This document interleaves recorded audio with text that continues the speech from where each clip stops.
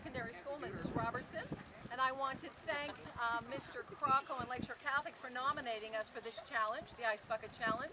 Our donation will go to ALS Canada, and we do want to nominate three other people uh, for the challenge. Officer Rubel, Ian Rubel, our resource officer, Brody Longmuir, our president of student council from last year, and the entire St. Francis football team.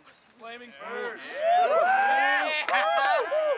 One, two, three.